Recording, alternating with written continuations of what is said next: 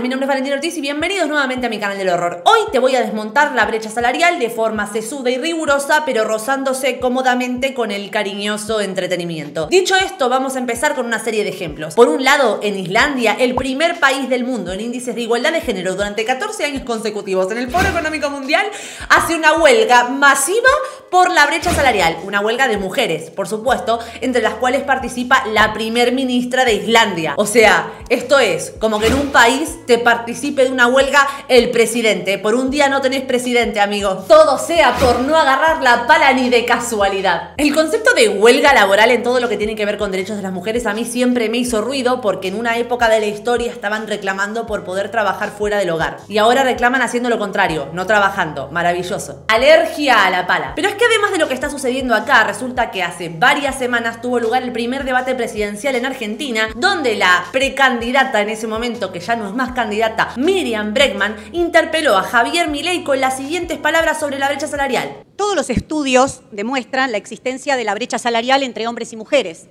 En Argentina las mujeres tenemos que trabajar ocho días más al mes para igualar el salario de un varón. ¿Usted niega el patriarcado por ignorancia o por machismo? Mire, Breckman, lo niego por la evidencia empírica. ¿Sabe qué? Cuando usted desagrega los promedios y toma profesión por profesión, la desigualdad desaparece. Pero si usted tuviera razón, y los malditos capitalistas explotadores a los que usted hace alusión, que solo quieren ganar plata, si lo que usted dice fuera cierto, usted tendría que entrar en una empresa y deberían ser todas mujeres. Adivine qué va a encontrar. Ah, claro, usted no sabe lo que sería una empresa. Pero, ¿sabe qué? Va a haber mitad hombres, mitad mujeres. Es decir, su teoría se cae con los datos. Gracias. Con esta intervención, Miriam Bregman está afirmando que la brecha salarial tiene como motivo el patriarcado, es decir, este invento ideológico en el cual te aseguro ya de base que no vivimos y podría dedicar otro video a explicar esto, aunque ya tengo un video del año de la vera explicándolo, donde los hombres ostentan un estatus superior al de las mujeres y controlan todas las esferas del poder. Ya vamos a detenernos detenidamente, valga la redundancia, a explicar esto en unos minutos y lo vamos a hacer de la mano de la premio Nobel Claudia Goldin, que ganó el Nobel de Economía 2023 justo justamente por estudiar la brecha salarial. ¿Y qué pasó con eso? Fue justo, justo, justo después de que tuviera lugar esta intervención de Breckman y Milley en el primer debate presidencial. Y evidentemente esto el feminismo y la izquierda lo usó en su favor como mejor le pareció. Por ejemplo, con publicaciones como esta de una plataforma de tintes feministas que dice el Nobel que vos negás. La imagen de la premio Nobel Claudia Golding junto a una caricatura de Javier Milei con un mazo. Mientras el candidato presidencial Javier Milei niega la brecha salarial entre hombres y mujeres, la estadounidense Claudia Goldin ganó el Premio Nobel de Economía por demostrar lo contrario. ¿Demostró Claudia Goldin lo contrario? Recordemos esta imagen particularmente, yo les pido que hagan el ejercicio de tratar de recordar este mensaje en su cabeza, esta contraposición entre las declaraciones de Javier Milei en ese debate contra los estudios o las conclusiones de esos estudios de la Nobel de Economía 2023 Claudia Goldin. Quédense esa idea. Javier Milei contrapuesto con la Nobel Claudia Goldin. Y continúa diciendo, ¿quién es Claudia Goldin? Nació en 1946 en Nueva York en el seno de una familia judía. Estudió economía en la Universidad de Cornell y completó su doctorado en la Universidad de Chicago en 1972. La estadounidense se distinguió por un relevamiento de más de 200 años de datos de Estados Unidos y descubrió los distintos factores que incidieron en las diferencias de género los ingresos y las tasas de empleo. Lo que dice en esta imagen es bastante cierto, pero agarrado de los pelos para orientarlo a la conclusión ideológica que ellos quieren sacar, muy alejada de las conclusiones reales de Claudia Golding y eso lo vamos a ver en un minuto. Lo que sí es importante de esta imagen es el gráfico. Ese gráfico parte de uno de los papers, de uno de los estudios realizados por Claudia Golding, donde justamente releva más de 200 años con respecto al empleo de las mujeres y lo que podemos ver precisamente en este estudio es que la curva de trabajo de las mujeres no es ascendente. Es decir, las mujeres no pasaron de no trabajar a sino todo lo contrario. Al comienzo de los tiempos se dedicaban más a las actividades relativas a la agricultura. A medida que pasamos la revolución industrial y los procesos de trabajo cambiaron, el trabajo de la mujer dejó de ser realmente necesario, sumamente necesario en el plano de lo externo, y la mujer volvió a dedicarse a las tareas del hogar. O más bien pasó a hacerlo como tarea única por primera vez en la historia, porque anteriormente se dedicaban a tareas de agricultura. Posteriormente, con la sociedad moderna, el crecimiento de, de las industrias, la invención de la píldora anticonceptiva, el cambio de expectativas culturales con respecto a hombres y mujeres y la educación expandida también hacia las mujeres, revirtió esta tendencia y pasó a que muchas mujeres se volvieran a integrar al mercado laboral, siempre hablando de mujeres casadas. Esta curva, esta curva en U, donde al principio las mujeres trabajaban mucho, luego dejaron de trabajar y luego volvieron a trabajar mucho, tiende a referirse, más bien, se refiere directamente a mujeres casadas. Este gráfico es de mujeres casadas. Ese también es un detalle que tenemos que tener en cuenta. Finalmente, este post termina diciendo, desmintiendo declaraciones, según los datos del Ministerio de Mujeres, Géneros y Diversidad Nacional, en la Argentina las mujeres ganaban 25% menos que los hombres en el primer trimestre de 2022. ¿Por qué negarlo? Bien, y acá hay algo que tenemos que distinguir. Distinguir con mucho trabajito, con mucho mismo, con mucho amor, porque resulta que no es lo mismo. Una diferencia sustancial entre brecha salarial y discriminación salarial. Tanta confusión hay al respecto que propios líderes de naciones enteras han confundido una cosa con la otra y en sinfín de ocasiones hemos escuchado hablar incluso a estos referentes de instituciones nacionales confundir brecha salarial con discriminación salarial Decir que las mujeres cobran menos que los hombres por el mismo trabajo. Es ahí justamente donde reside el problema. ¿Qué es la brecha salarial? La brecha salarial es la distinción de ingresos entre hombres y mujeres. ¿Y qué es la discriminación salarial? La discriminación salarial es justamente lo que acabamos de mencionar, que un género gane menos que el otro por el mismo trabajo. Resulta que bien, si bien la brecha salarial en efecto existe, no tiene detrás una motivación de género. Por eso les pedí que recuerden las palabras de Miriam Bregman cuando refería al patriarcado como el motivo por el cual se da esta brecha salarial. Las mujeres cobran menos que los hombres, pero no por el mismo trabajo, sino como grupo. Luego podemos hablar de lo que se considera la brecha salarial ajustada y la no ajustada. Justamente, como dice mi ley, a medida que vamos extrayendo los factores externos y comparamos trabajo por trabajo, puesto por puesto, experiencia por experiencia, formación por formación, la brecha salarial desaparece. Un médico con 20 años de experiencia y formación en la Universidad de Buenos Aires con doctorado medicina clínica, cobra lo mismo que una médica con 20 años de experiencia graduada en la Universidad de Buenos Aires con un doctorado en medicina clínica si es que en el mismo hospital y los contrataron al mismo tiempo. Ahí, cuando ajustamos los parámetros, la brecha salarial desaparece. Sin embargo, cuando hablamos de brecha salarial no ajustada, nos referimos a que las mujeres, como decíamos previamente, cobran menos que los hombres como grupo, pero no por el mismo trabajo. Por mantenernos en la misma comparación en el marco de la medicina, al ver los números podemos ver que la cantidad de médicos hombres frente a la cantidad de médicos mujeres es muy similar, prácticamente no hay brecha. Sin embargo, cuando nos vamos a estatus inferiores, como puede ser la enfermería, observamos que la mayor parte de enfermeras son, en efecto, mujeres. Y el enfermero cobra menos que el médico, siempre. Por tanto, aunque tengamos mayor cantidad de mujeres en enfermería, si ajustamos esa brecha nuevamente, un enfermero hombre ganará menos que una médico mujer. Se entiende, ¿verdad? Como la mayor parte de mujeres que se encuentran dentro del ámbito de la medicina son enfermeras, las mujeres en medicina cobran menos que los hombres. Página 12 sigue por la misma línea y saca un artículo publicado por Natalie Rizzo que se titula Javier Milei a contramano del Nobel de Economía. Y el subtitular reza, en Argentina, desde la economía feminista, festejan el reconocimiento por partida doble, es decir, el reconocimiento de Claudia Golding como ganadora del Nobel de 2023 en economía. Y continúa, es que durante el primer debate presidencial, uno de los candidatos más competitivos, Javier Milei, negó la desigualdad de ingresos entre hombres y mujeres. Creo que empiezan a dilucidar la conclusión que vamos a sacar en este video porque ya he ido tirando datitos. Pero ¿cuánto hay de verdad en esto que afirma tanto página 12 como el otro post random? ¿Cuánto hay de verdad en que la Nobel de Economía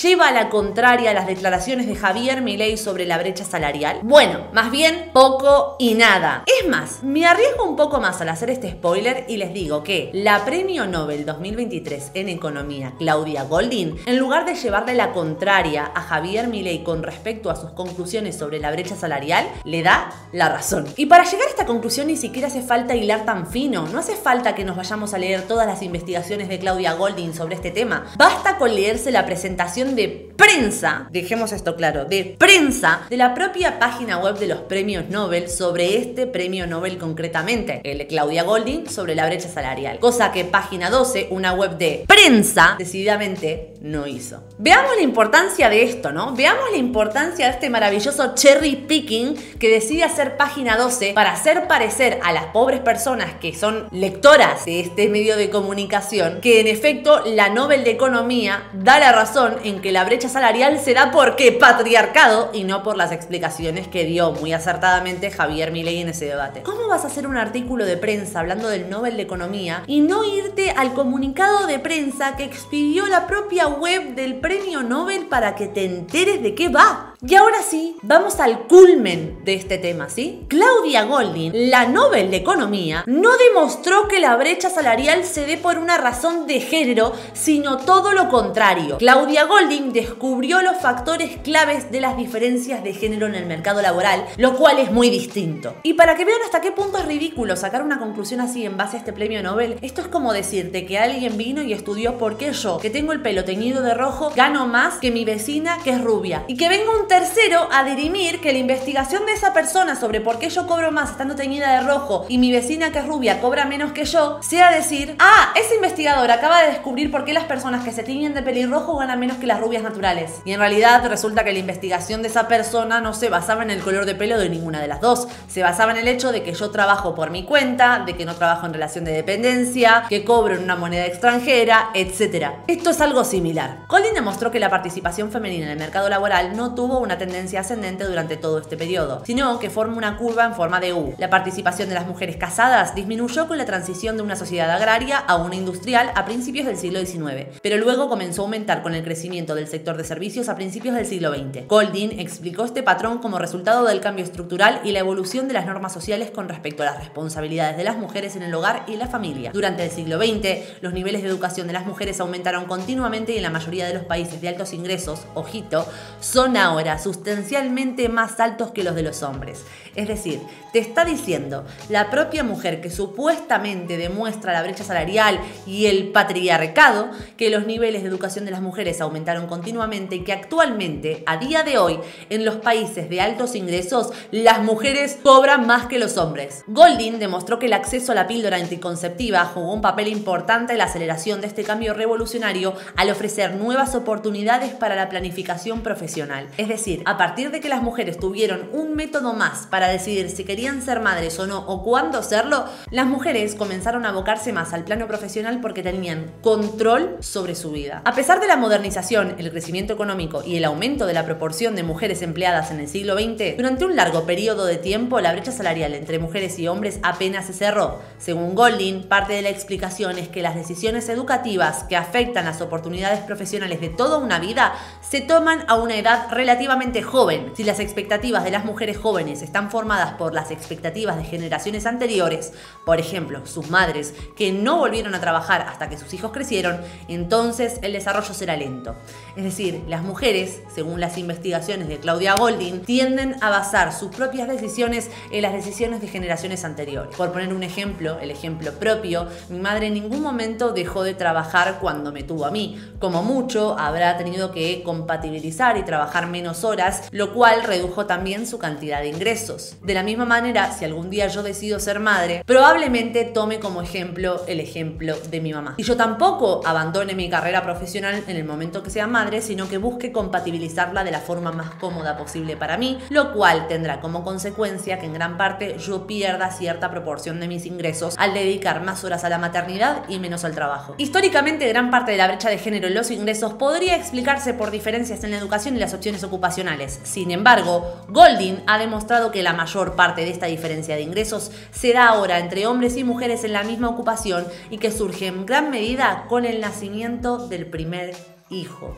Y acá llegamos al culmen, a la conclusión. Resulta que las mujeres desde que tienen su primer hijo tienden a elegir o bien trabajos part-time, es decir, pasan a trabajar de tiempo completo a medio tiempo para pasar más tiempo con sus hijos, o bien dejan de trabajar durante una temporada hasta que los hijos son más grandes y luego se reincorporan al mercado laboral. Lo cual, ¿qué conclusión nos deja? Nos deja la conclusión que las mujeres que trabajan exactamente lo mismo que trabajan los hombres en el mismo ámbito, con la misma experiencia y la misma educación, cobran a todas luces lo mismo Para empezar, porque pagarles diferente directamente sería un delito. La discriminación salarial es ilegal prácticamente en todos los países del mundo, por lo menos en los occidentales. Y de hecho, el segundo estudio de Golding sobre brecha salarial justamente incide en el hecho de que se suele premiar en el ámbito de lo laboral a aquellas personas que más horas trabajan y por tanto más cobran. Vayamos viendo pues hasta qué punto las conclusiones de Claudia Golding se ajustan más a las propuestas por Javier Milei que a las propuestas por Miriam Bregman, que básicamente resume todo su argumento en el patriarcado. Las mujeres cobran menos porque el mundo nos odia.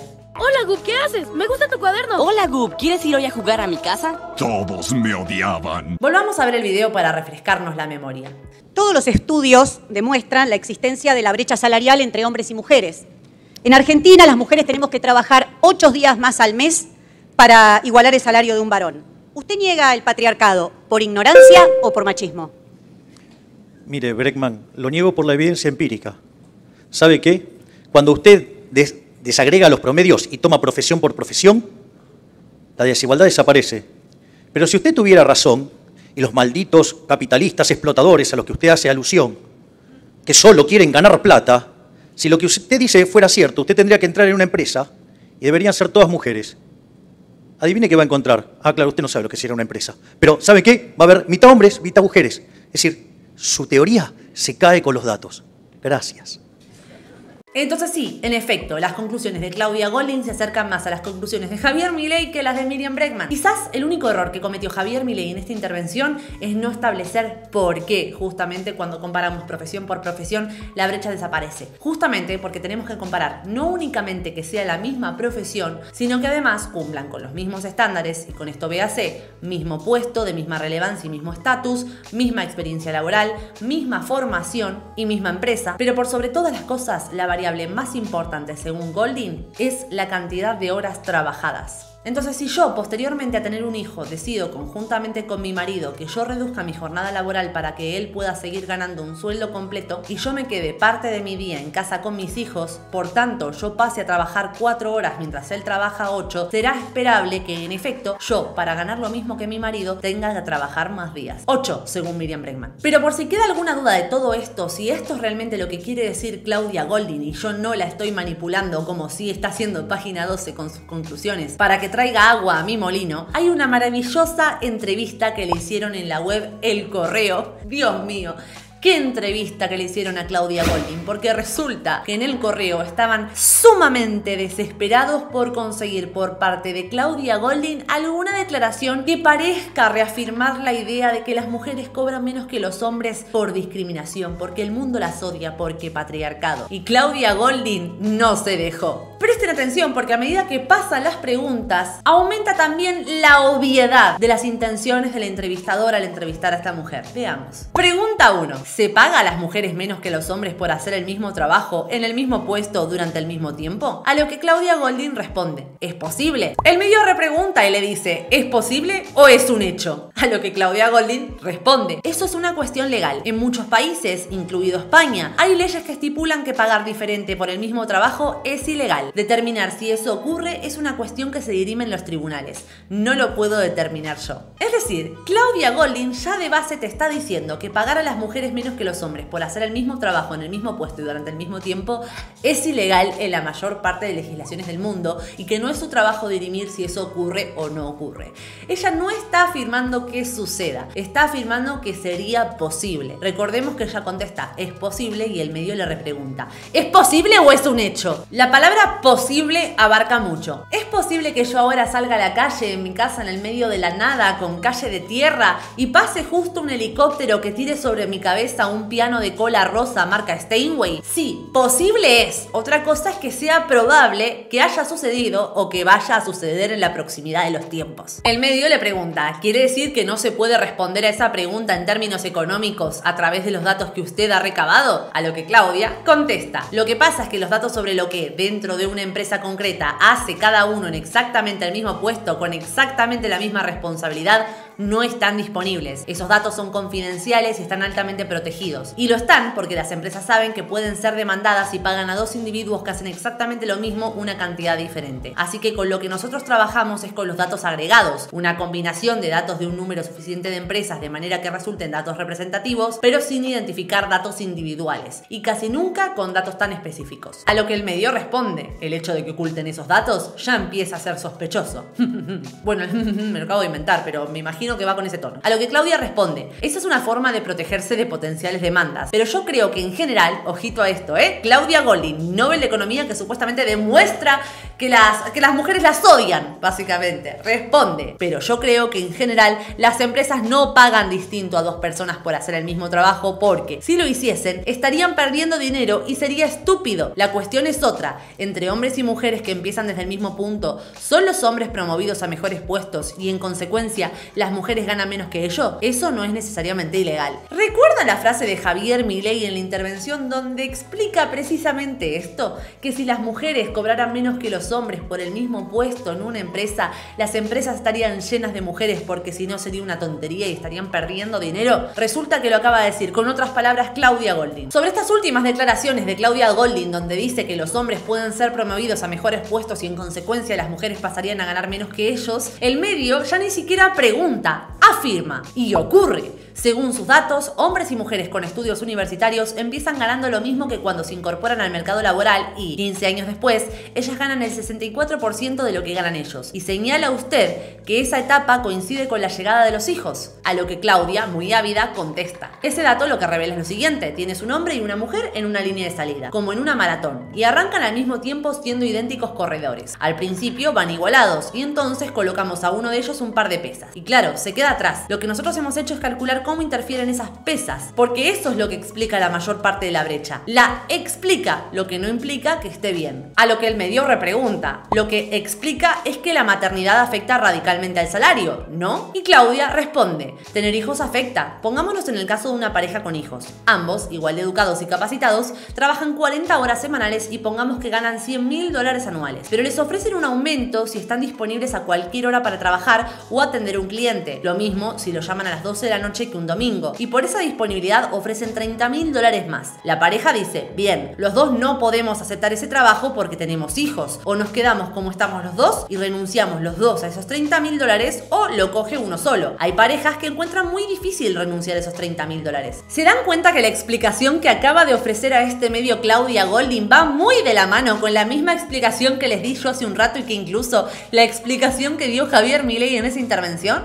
El medio dice, es fácil de entender, a lo que Claudia responde, así que uno coge el trabajo de 130 mil dólares y el otro se queda con los 100 mil, incluso si fuese una pareja del mismo sexo. Ojo, incluso si fuese una pareja del mismo sexo, eso produciría una desigualdad, pero cuando se trata de un hombre y una mujer produce además una desigualdad de género, porque suele ser ella la que renuncia a esos 30 mil dólares. Es ahí, en gran medida, donde se produce la brecha de género. ¿Y por qué, Valentina? ¿Por qué se produce esa brecha de género? Bueno, eso ya escapa un poco al campo de Claudia Golding, que es economista, y se empieza a acercar al campo de personas como Ann Campbell. La psicología evolucionista explica esto mucho mejor de lo que lo explica la economía. Existen factores biológicos y evolutivos ligados a las decisiones que tomamos hombres y mujeres. De hecho, tengo dos videos en este mismo canal hablando de neurosexismo y desmontándolo de pies a cabeza partiendo de psicología evolucionista y biología. Una de las razones que explica por qué la mujer suele ser la que elige renunciar a los 30 mil dólares y quedarse en la casa es la teoría de la inversión parental de Trivers, donde se explica que como la mujer es quien más invierte en la reproducción y por tanto también la que más riesgos corre, suele tomar decisiones más orientadas al cuidado de la familia que a otras cuestiones. Lo mismo ocurre con la teoría de la selección sexual de Darwin o la dimensión objeto-persona, donde se observa que los hombres tienden a elegir aquellas carreras más orientadas al trabajo mecánico o al trabajo con las cosas, mientras que las mujeres tendemos a elegir aquellas tareas que están relacionadas al cuidado o al trato con personas. El profesional que dio a luz a este concepto es Richard Y también van a encontrar referencias a sus estudios en mis dos vídeos de neurosexismo en este canal. Pero tampoco podemos olvidarnos, por ejemplo, de las conclusiones de Simon Baron Cohen. Simon Baron Cohen es un investigador del autismo y en su proceso de estudiar el autismo, dado que el autismo se presenta de formas diferentes en hombres que en mujeres, hizo experimentos primero con niños de en torno a 3-4 años y posteriormente, como le dijeron que esos experimentos no eran válidos porque los niños podrían haber sido contaminados por la cultura en esos primeros años de vida, realizó el mismo experimento otro muy similar, con niños de apenas un día de nacidos. Estos experimentos consistían, en el caso de los niños más grandes, en ofrecerles diferentes juguetes, tanto juguetes mecánicos como juguetes que tienen que ver con el cuidado y las personas. Las mujeres siempre tendían a elegir aquellos juguetes que estaban relacionados al cuidado de las personas y al trato con las personas y los, los hombres, los niños, tendían a elegir aquellos juguetes que estaban más relacionados con lo mecánico, con los objetos. Posteriormente, como digo, se realizó este mismo estudio con niños de tan solo un día de vida y lo que hicieron en este caso, dado que todavía no tenían capacidad para jugar, era ponerles imágenes. Mientras que los niños varones, mientras que los bebés hombres se detenían más tiempo observando imágenes de objetos y imágenes de mecánica, las bebés mujeres se detenían más tiempo observando caras de personas. Entonces, incluso podríamos afirmar que si existe brecha salarial, que no es mujeres cobrando lo mismo que los hombres por el mismo trabajo, recordemos, existe más como una consecuencia de las decisiones libres que tomamos hombres y mujeres que por una imposición de género basada en el patriarcado, como argumentaba muy airosamente Miriam Breckman. Pero Valentina, ¿cómo puede ser que en una sociedad libre, que en una sociedad abierta, en una sociedad con altos índices de igualdad de género, las mujeres tiendan a elegir aquellos, aquellas tareas más tradicionalmente asociadas a ellas? Bueno, esto se llama la paradoja nórdica de la igualdad y está profundamente estudiada. En los países nórdicos, que de hecho son los países que tienen índices más altos de igualdad social y de género, se tienden a ver más notorias aquellas tendencias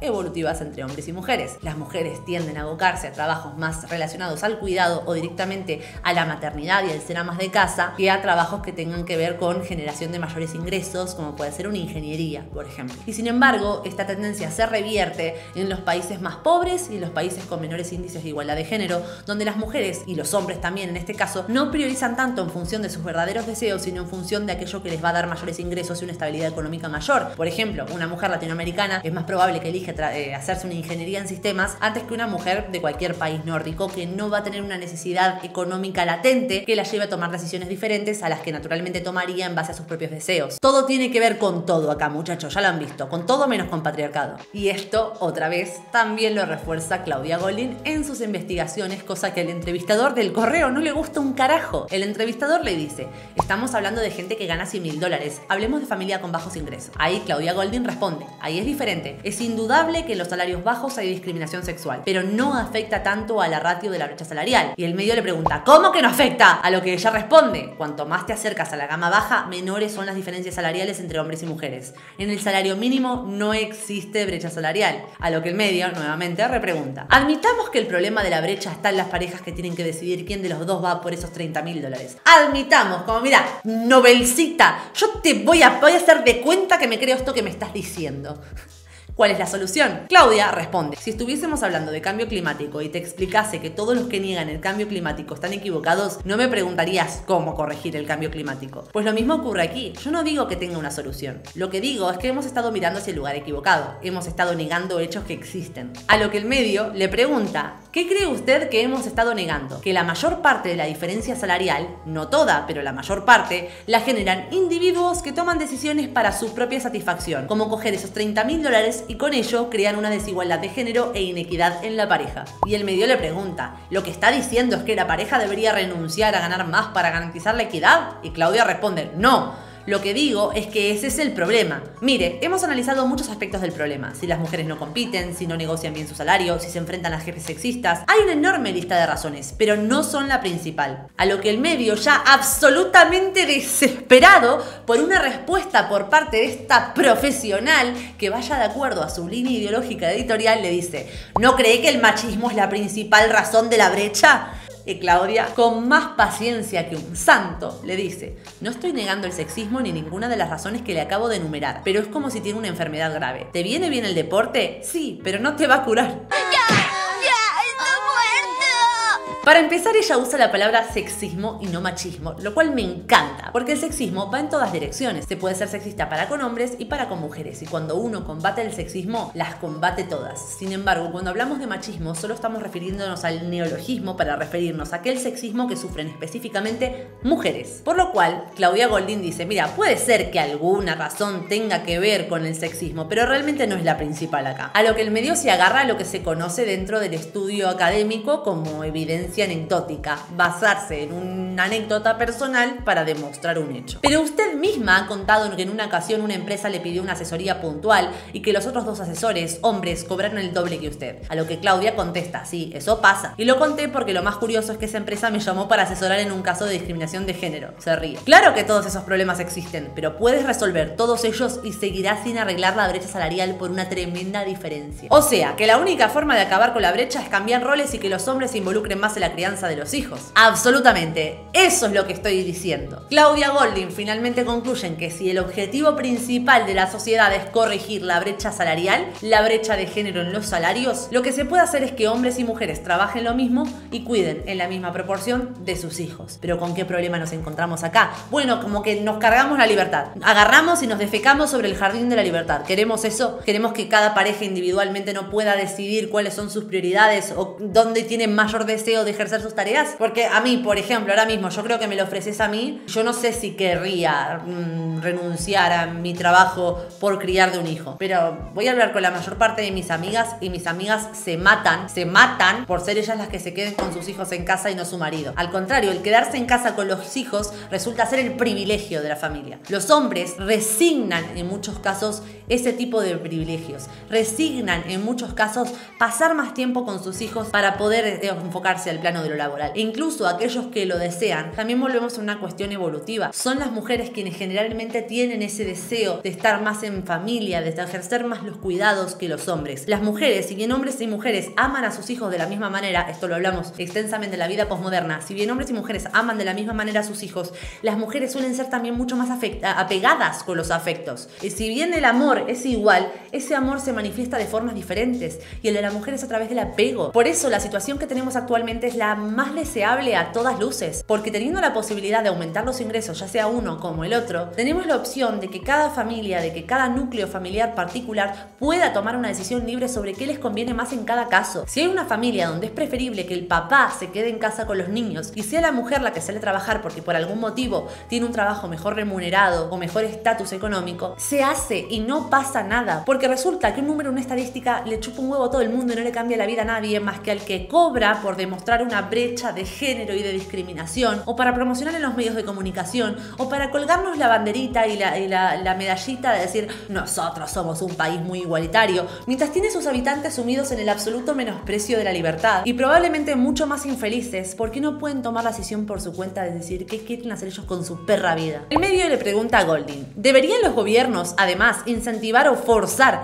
una política de cuotas en los consejos de administración de las empresas? A lo que Claudia responde, ¿cómo resuelve eso los problemas de los que hemos hablado? A lo que el medio contesta, si las mujeres ocupan cargos directivos, instalarían políticas que ayuden a reducir la brecha salarial. A lo que Claudia responde, no lo sé, no conozco ningún consejo que haya hecho algo parecido. A lo que el medio dice, igual es que no hay ningún consejo de administración con suficientes mujeres. Claudia dice, mire, Noruega tiene una ley así y no hay mucha evidencia de que haya tenido impacto en la brecha salarial. Y el medio le dice, o sea, ¿no cree que la discriminación positiva vaya a mejorar la situación? No creo que vaya a hacer algo en lo que se refiere a la brecha salarial, responde Claudia. Y el correo nuevamente repregunta, pero romper el techo de cristal, que las mujeres accedan a puestos de poder, es importante. Y Claudia dice, sí, pero es más complejo que eso. Imaginemos una compañía que solo tiene mujeres en su consejo de administración y que esas ejecutivas quieren cambiar el funcionamiento de la empresa. Esa compañía, supongamos que cotizada, tiene accionistas y ellos y ellas van a decir, oh, ¿y si eso hace que el precio de mi acción baje? La cuestión es, si tener mujeres en un consejo hace que el precio de la acción de la empresa suba, ¿por qué los hombres no lo hicieron antes? Dejo la pregunta ahí. A lo que el medio, insistente en demostrar el punto que quieren demostrar y sin ser Nobel de Economía como sí lo es la persona a la que entrevistan, le dice,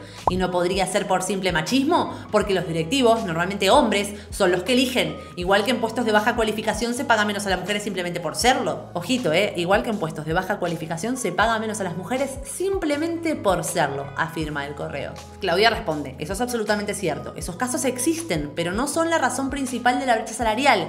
Y yo animo a cualquier mujer que encuentre semejante sexismo, que le paguen menos por el mismo trabajo, a que lo denuncie ante un tribunal de justicia. Sin duda, pero acabar con esa discriminación no va a acabar con la brecha salarial. Y el medio ya va absoluto de huello y le dice, ¿le gustaría que una mujer fuese presidente de Estados Unidos? ¿Qué tenía que ver? A lo que Claudia, siendo la mujer más basada del siglo XXI, le responde, sí, pero me conformaría con tener a alguien competente como presidente. Someday there's gonna be there's gonna be the first woman president, which means which means you don't even know what a, you don't even know what a fucking platform is, and you automatically cheer.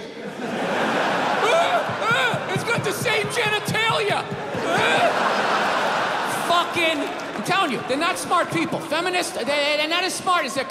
¿Cambiaría la situación de las mujeres tener una presidente? Dice el medio. Dice presidenta, pero yo presidenta no digo, me parece que está mal. Claudia responde, espero que sí, pero no puedo decirlo con seguridad porque no creo que los problemas que tenemos puedan cambiarlos un gobierno. ¿Cómo podemos creer que algo tan importante como esto va a cambiar por un mandato, por una imposición? Y el medio responde contestándole una premio Nobel en economía, porque a veces ha funcionado. Su país impuso la discriminación positiva con los afroamericanos en los 70 y quizás sin ella Obama no habría llegado a presidente. A lo que Claudia, maravillosa mujer que se merece una estatua hasta en mi baño, dice, hay mucha gente que tiene estudios académicos sobre el tema que estaría en desacuerdo con eso y que le diría que la discriminación positiva es lo peor que hay. ¿Y tiene usted una opinión sobre eso? No, no la tengo.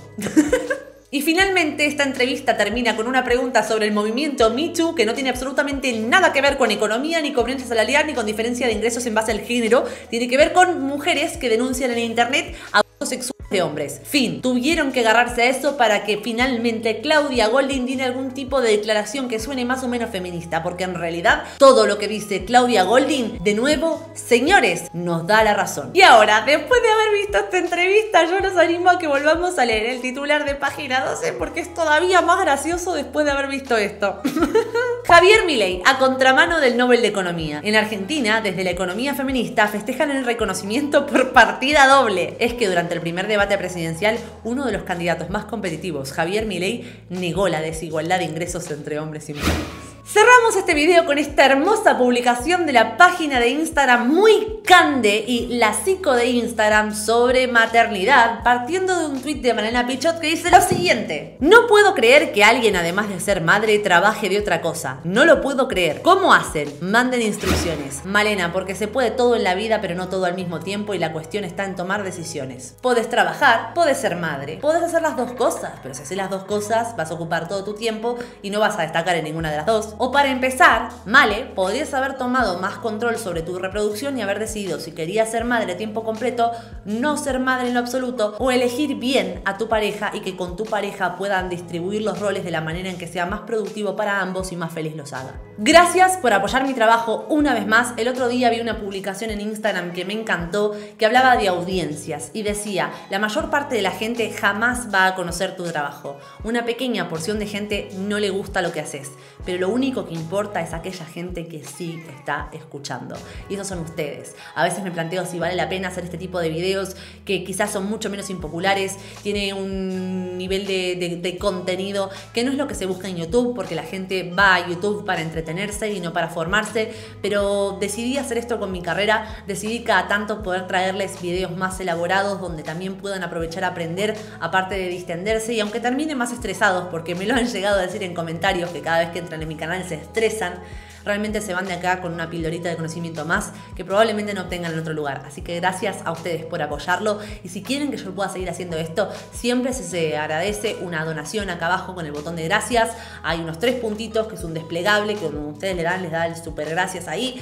Dejan un comentario como si fuera un super chat. También me pueden ayudar mediante donaciones directamente a través de PayPal, haciéndose miembros en Patreon o donando algo en criptomonedas. También tengo una billetera de criptomonedas de varias criptos acá abajo en la descripción. Y los invito también a seguirme en redes sociales y a suscribirse si no lo están. Además, por favor, les pido, compartan el contenido, porque la única forma de llegar a más gente y que el algoritmo de YouTube siga promocionando mis videos es ver que la gente comparte, que la gente copia el link. Copiar el link, aunque no se lo mandes a nadie. ¿Sabes lo que significa que copies el link para mí? Significa todo en esta vida. Así que sin más, me despido y obviamente sin faltarle a mi palabra de recomendarles que se pasen por mi canal secundario, La Catarsis de Valen, donde subo contenido todos los días de diferentes recortes de directos donde hablo de los mismos temas. Los amo, cabezas de pollo.